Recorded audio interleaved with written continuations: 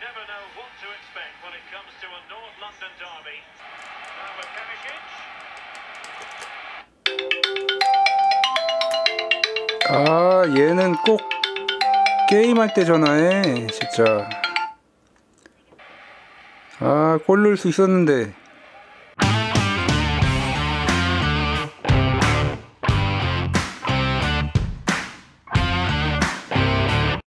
안녕하세요 닥터케입니다 세계에서 가장 배터리 용량이 큰 스마트폰과 같이 정말 신박한 기기들을 만드는 유니어치 사에서 이번에는 세계에서 가장 작은 안드로이드 13 스마트폰 젤리 스타를 출시를 하였습니다. 자, 정말 얼마나 작고 귀엽고 그리고 또 성능은 쓸만할지 정말 궁금한 그런 폰 젤리 스타 개봉을 해보도록 하겠습니다.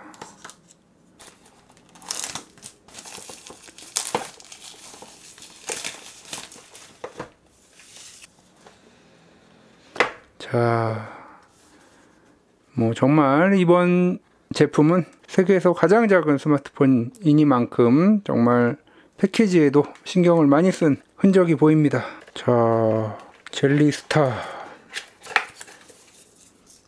주먹 안에 쏙 들어갑니다. 이야, 정말 작습니다. 이렇게 스마트폰 그리고 스마트폰이 거의 충전기 사이즈네요. 7.5W, 5V 1.5A. 어, 1.5A 충전기는 요즘에 정말 오랜만에 보는 것 같습니다. 자, 그리고 충전 케이블. 오, 이렇게 꺾여진 충전 케이블입니다. 야, 그리고 이렇게 스트랩이 들어 있습니다. 핸드 스트랩이 들어 있어서 자, 뭐 이런 식으로 손목에 걸고 다닐 수도 있고 예전에는 폰에 이런 것들 다 하나씩 걸고 다니셨었죠. 충전 젠더를 걸고 다니느라고 이런 거 많이 가지고 다녔었는데 자 그러면 이제 스마트폰 중에 가장 작은 젤리 스타 외형 한번 보시겠습니다.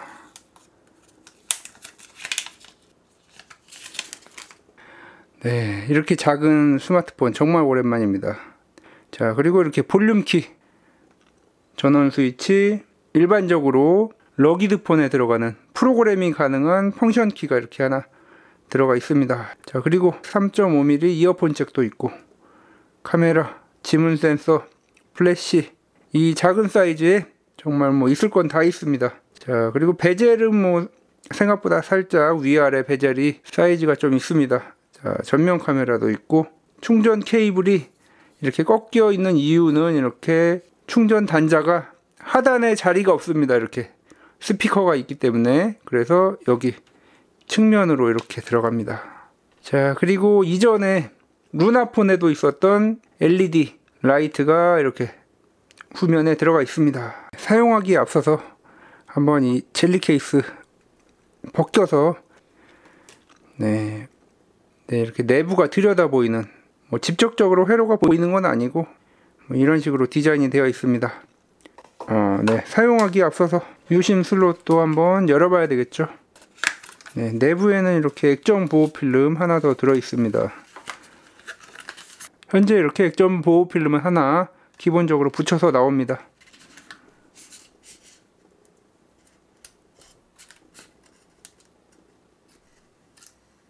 마이크로 SD도 하나 들어가고 네, 아마도 이 마이크로 SD를 사용하지 않고 유심을 두 개를 끼우면 듀얼로 작용하는 것으로 보입니다. 자 그럼 한번 이제 젤리폰 켜보도록 하겠습니다. 아 이게 이 비닐에는 위에가 프로그램 키고 아래가 파워로 되어 있는데 뭐 딱 봐도 파워키 빨간색 위에가 파워키가 맞네요. 유니허츠 젤리 케이스를 다시 씌우고 네, 젤리 케이스 씌운 상태가 정말 이렇게 한 손에 잡기도 좋고 네, 그립감은 상당히 좋은 것 같습니다. 자, 뭐 안드로이드이기 때문에 한국어 당연히 지원되고 자, 이제 세팅을 마치고 나서 본격적으로 제품의 사용에 대한 리뷰를 진행해 보도록 하겠습니다. 자, 이제 하드웨어 그리고 소프트웨어 스펙에 대해서 살펴보도록 하겠습니다. 자, 크기. 자, 95mm, 9.5cm이고 그리고 가로 네, 49, 네, 5cm 정도 됩니다. 가로 5cm, 세로 10cm. 네, 뭐 이 정도 되겠고 무게 네, 122g. 야, 정말 가볍죠. 이 정도면 한 손에 쏙 들어온 사이즈의 정말 가벼운 젤리 스타가 되겠습니다. 네. 지문 인식. 네, 지문 인식 뭐 상당히 잘 되고 네. 그러면 기기 사양에 대해서 살펴보도록 하겠습니다. 안드로이드 13 그리고 용량 256GB 해상도는 480에 854 16대 9 비율 3.03인치입니다. 네, 3인치 그리고 램은 8기가 가상 메모리 7GB를 추가할 수가 있습니다. 배터리는 2000mAh 화면 디스플레이 사이즈가 작기 때문에 2000mAh로도 아침에 충전을 완료하고 뭐 하루 종일 충분히 사용을 할 수가 있습니다. 네, 그리고 뭐 다른 네, 설정들 LED 자, 이 뒤에 이렇게 두 개의 LED가 있습니다. 이 플래시 라이트도 있고 네, 이 LED 자, 이 밝기 가장 밝은 거. 네. 이 정도 되고 제가 지금 설정해 놓은 게 이 정도. 가장 약한 거 네, 이 정도. 이 정도가 이렇게 되겠습니다. 뭐 전화가 올 때 LED 들어오는 걸 원치 않는다 싶으면 요 설정을 켜면 되겠고 네, 기본적으로 전화 올 때 이렇게 뒷면에 LED가 켜지게 됩니다. 네, 그리고 알람, notification, 그리고 음악을 들을 때 뭐 이렇게 반짝반짝하게 할 수도 있고 뭐 always on 기능도 있고 충전할 때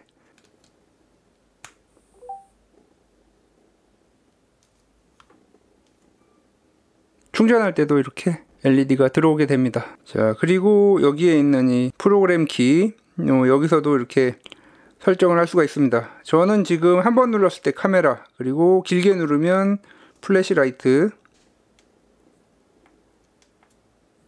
이런 식으로 설정을 해 놓을 수가 있습니다. 자, 그리고 뭐 배터리는 현재 88% 남았고 14시간 정도 사용할 수 있다고 이렇게 나옵니다. 아, 네. 그리고 현재 지금 왼쪽이 뒤로 가기로 되어 있습니다. 이것은 네, 뭐 이런 설정으로 들어가서 한글이 지원되긴 하는데 메뉴들 중에서 이렇게 일부는 한글이 번역이 되어 있지 않습니다. 뭐 이렇게 하면 이제 이게 뺏기가 되는 것이고 네, 그리고 자, device info 한번 들어가서 자, 좀 크게 봐야 되겠죠. 설정을 한번 보시면 자, Helio G99 뭐 요즘에 어, 안드로이드 게임기 중에서도 중급 이상 되는 게임기에 많이 들어가는 AP가 되겠습니다. 그리고 태블릿에도 요새 많이 사용이 되죠. 해상도가 높은 기기에서도 웬만한 게임들은 다 플레이를 할 수가 있는데 해상도가 낮기 때문에 거의 안 되는 게임이 없을 것으로 보입니다. 스크린 보셨고 주사율은 60Hz 그리고 메모리 자 카메라 후면 4800만 화소 그리고 전면 800만 화소의 카메라가 있습니다. 뭐 이 정도 사이즈 폰에서 카메라 성능을 뭐 기대하기는 어렵겠죠. 네. 2000mAh 배터리 그리고 와이파이 5, 블루투스 5가 지원이 됩니다.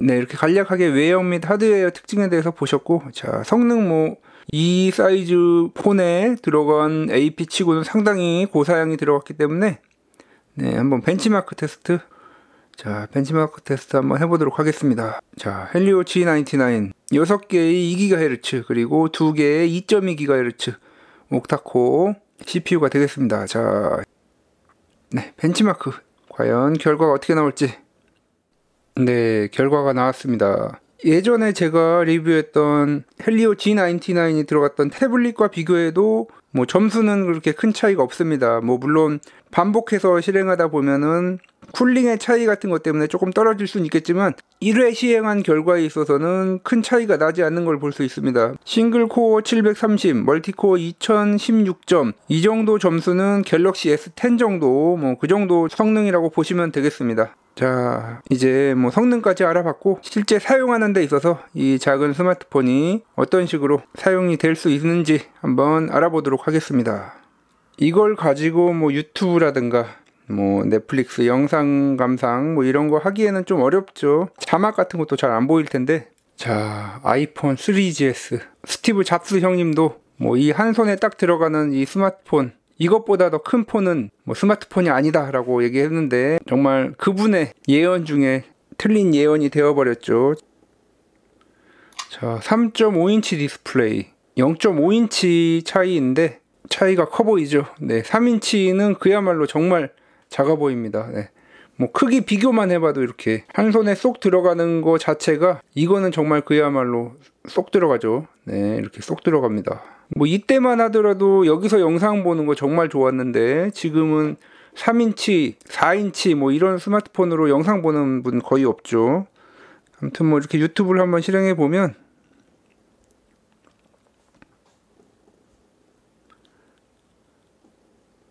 전화 배치 켜면 자 그러면 이제 학스럽네요 밥이 잠금화면에 밥이 네, 뭐 자막 보는 데 있어서는 뭐 무리가 없네요. 뭐 예전에 2인치 때에서도 다 영상 보고 그랬었는데요. 뭐. 아 그렇고 방금 전에 보셨듯이 LED 설정을 켜놨기 때문에 사운드가 날 때 네, 이렇게 LED가 반짝이게 됩니다. 네, 음악에 맞춰서 이렇게 반짝이죠. 네, 뭐 이런 기능도 있고 아 그리고 여기서 이렇게 위젯으로도 LED 기능들 하나씩 끄거나 켤 수 있습니다. 네, 여기서 이렇게 뭐 다 켤 수도 있고 이렇게 설정으로도 들어갈 수가 있습니다. 자, 뭐 넷플릭스 넷플릭스는 헬리오치 99 기기들 예전에 다 봤을 때 재생 사양은 대부분 와이드바인 L3였고 여기도 마찬가지로 이렇게 L3로 나옵니다. 네, 이렇게 넷플릭스 볼 때도 마찬가지로 뭐 네, 음향 효과에 맞춰서 이렇게 LED가 반짝이긴 하는데 루나폰의 경우에는 색깔이 RGB로 되어 있었는데 그건 좀 아쉽네요. 이렇게 색상이 들어갔으면 조금 더 예뻤을 텐데. 네, 해상도가 낮더라도 화면이 작기 때문에 뭐 이렇게 영상 보는 데 있어서는 큰 무리는 없습니다.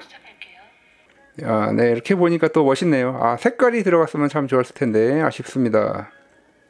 자, 이렇게 넷플릭스까지 보셨고, 네, 여기에 예전 안드로이드처럼 이게 이렇게 메뉴키 그리고 백키로 작용을 하는데 이렇게 스와이프 기능도 다 됩니다. 스와이프 기능도 되고, 네, 이런 기능도 다 됩니다. 와, 좀 정말 치기가 어렵습니다. 아이고, 네.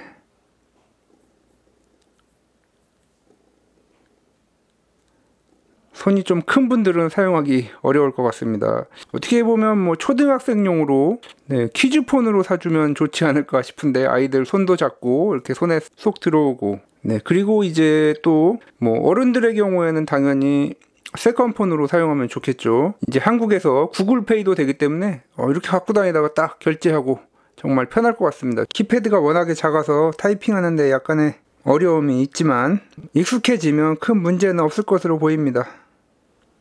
자, 그러면 웹서핑 할 때 가독성은 어떨지. 네, 요 정도가 아마 실제로 보는 느낌이라고 생각하면 될 것 같습니다. 글씨는 뭐 잘 보이는데 기사 같은 거 들어갔을 때 어떨지.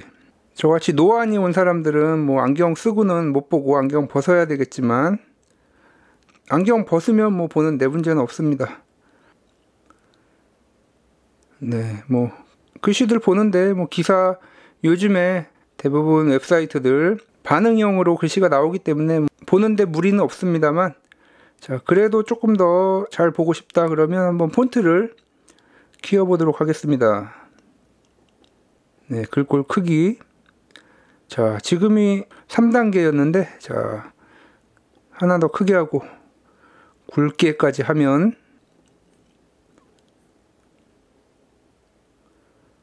네 뭐 이 정도면은 네 보는 데는 무리는 없죠. 네.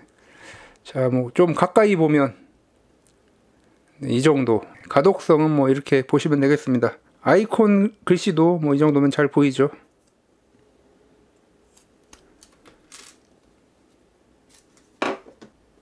자, 보시면 이렇게 여기에 넣거나 아니면 여기 넣어서 이렇게 듀얼심으로 네, 활용을 할 수가 있습니다. 물론 듀얼심을 사용하려면 마이크로 SD 카드를 사용을 못하고 심 하나만 이렇게 넣고 여기 마이크로 SD를 넣을 수가 있습니다.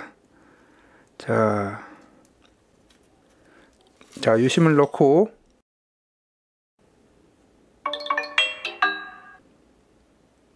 네, 긴급 재난 문자도 이렇게 되고 네, 아직 잡히지 않았는데 이런 경우에 네, 비행기 모드 한번 켰다가 꺼주면 아, 네, 이렇게 SK텔레콤 잡혔습니다.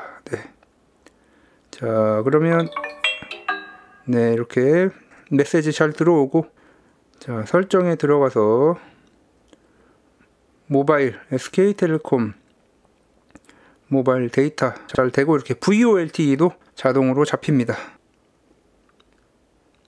인텔리전트 어시스턴스에 들어가면 네, 콜 리코더가 있습니다. 자, 이렇게 한국에서 될지 모르겠지만 자동 녹음 기능도 이렇게 되어 있습니다. 그리고 뭐 녹음 버튼을 이렇게 플로팅 띄어서 보여주는 것도 있고 자, 그럼 한번 전화를 해보면 되겠죠. 이게 되는지 안 되는지.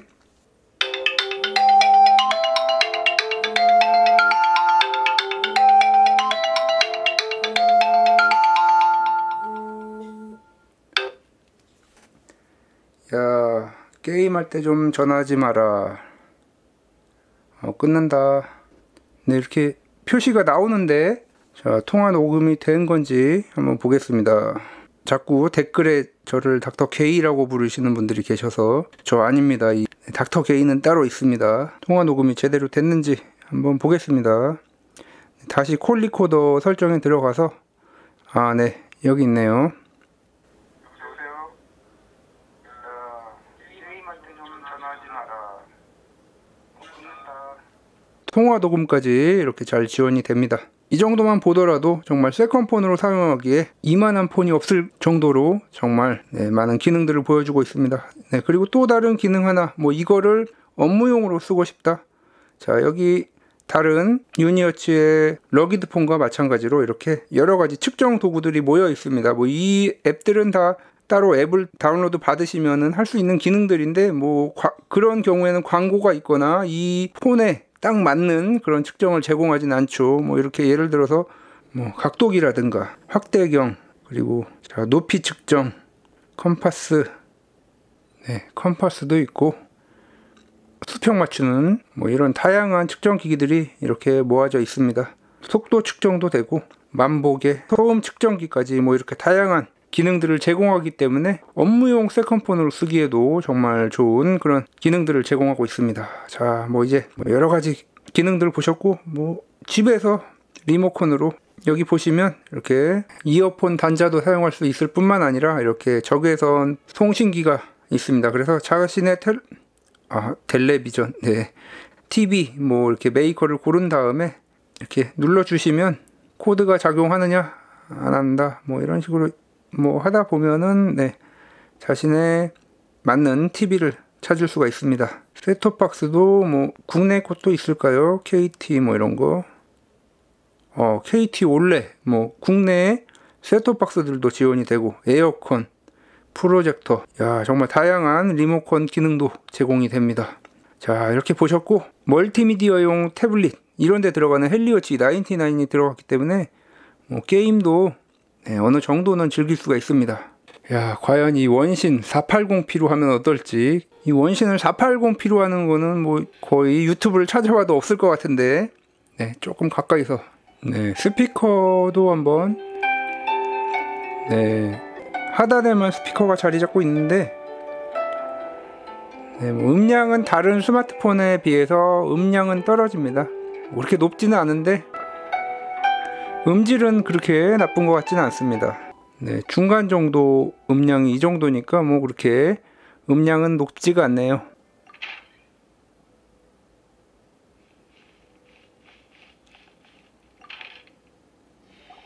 사건의 전말은 이래.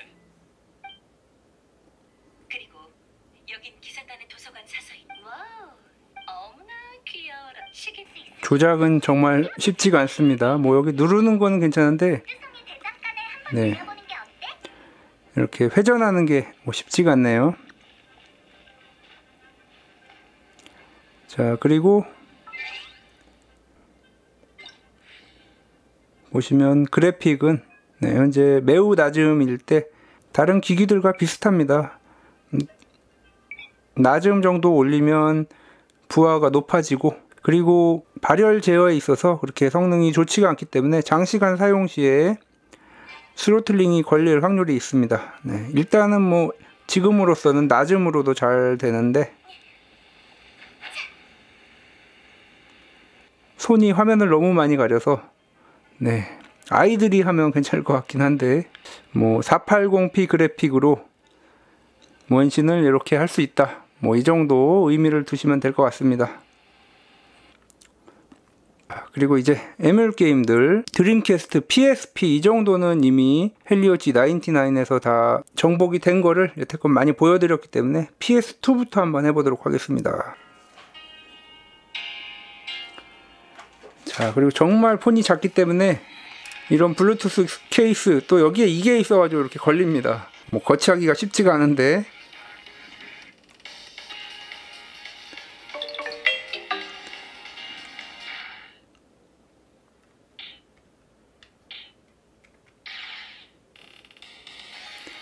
야, 정말 이 작은 화면에서 PS2가 돌아가는 게 정말 신기합니다. 야, 프레임이 나오는데 뭐 글씨가 너무 작아서 도저히 볼 수가 없습니다.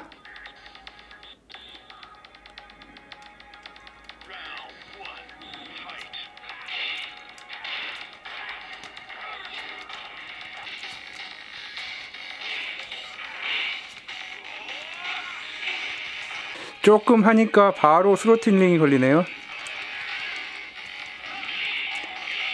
처음에는 괜찮았는데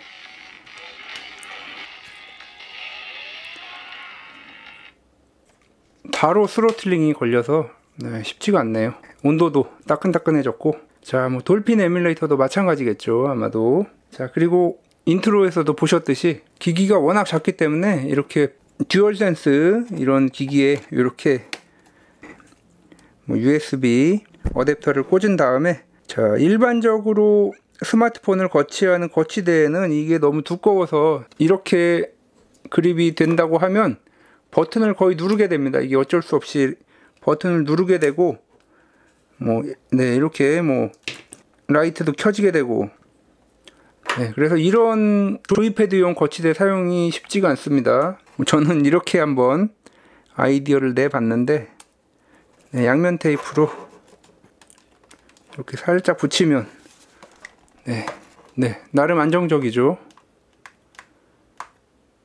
자, 돌핀 에뮬레이터 한번 보시겠습니다.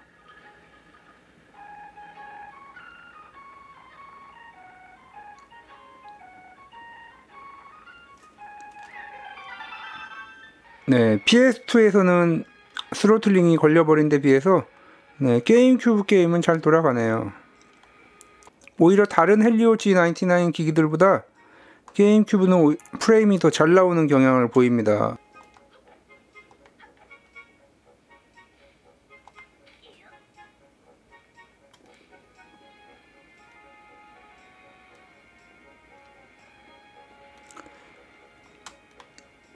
자, 뭐 이렇게 DualSense에 연결했으니까 또 remote play까지 한번 해봐야 되겠죠.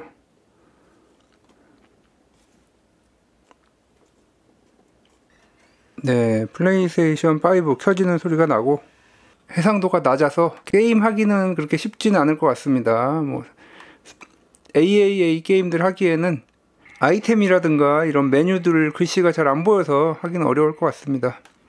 뭐 그냥 간단하게 뭐 피파나 해보겠습니다.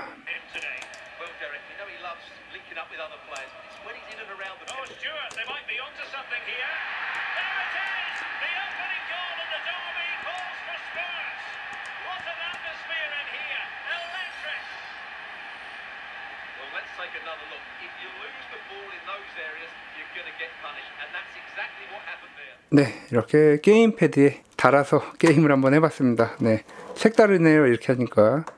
플레이스테이션 포탈 별거 없죠. 이렇게 하면 그냥 포탈이죠. 네. 자, 이렇게 게임까지 해봤는데, 뭐, 폰이 살짝 따끈따끈하네요. 자, 이렇게 두껍게 만들어 놓은 기기 특성상 열이 넓게 퍼져야 되는데, 그렇게 되지 못하기 때문에, 뭐, throttling 걸리는 거는 뭐 어쩔 수 없다고 봅니다.